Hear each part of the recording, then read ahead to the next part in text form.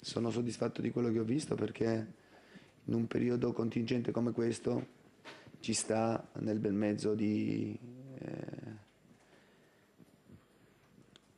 di una serie di partite importanti eh, che ne devono seguire ancora forse più importanti, eh, ci sta di eh, fare delle partite, anzi fare questa partita e acciuffare la vittoria con le unghie, con i denti, eh, con la voglia comunque della, di vincere la partita nonostante com comunque delle, delle, delle, difficoltà.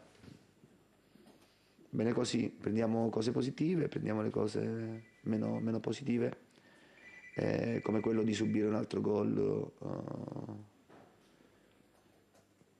all'inizio, dopo che il portiere nostro è stato praticamente inoperoso perché era spettatore non pagante, così come è successo con Storari col Verona anche oggi Buffon nel primo tempo ha preso la palla dalla porta e ha toccato la prima volta con, con le mani il pallone.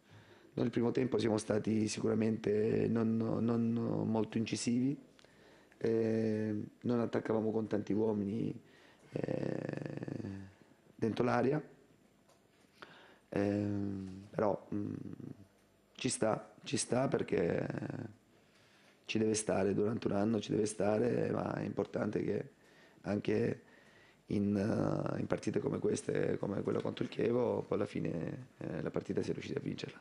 Mm, il Chievo penso che sia una bellissima realtà per il calcio italiano e, e mi auguro che possa rimanere per tantissimi anni in Serie A.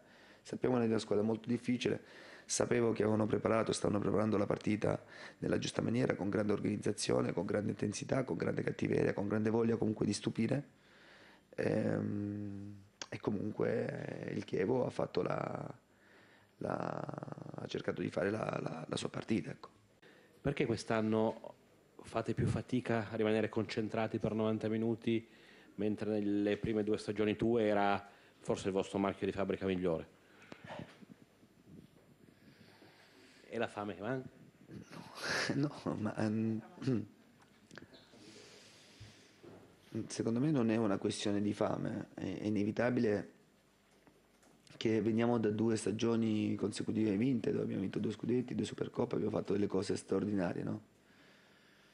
Ehm, tanti giocatori sono, sono, cresciuti a livello di, di, rendimento, a livello proprio di, di qualità individuale, che non è facile comunque riproporsi.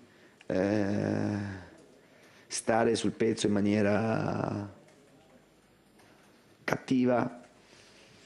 Tutto questo non è facile, però devo dire che ehm, è un percorso noi che stiamo facendo, un percorso che stiamo facendo, sono delle tappe importanti, sono delle tappe che ci devono aiutare a capire che, eh, che è difficilissimo, questo per, per rivincere in, in Italia. Questo sarà molto molto difficile perché gli antagonisti sono forti, hanno grandissimo entusiasmo eh, e noi sembra un po' che l'ambiente si sia un po' abituato alla vittoria e questo non deve accadere perché ci deve essere sempre grande entusiasmo in quello che si fa, nell'aver vinto con le unghie e con i denti a Chievo, col Chievo eh, e non pensare che la Juventus, so perché si chiami Juventus, ha vinto due campionati consecutivi, ogni domenica vada in campo e debba massacrare gli avversari o debba vincere tutte le partite. Questo non accadrà, io lo so, eh, lo sanno anche i miei calciatori.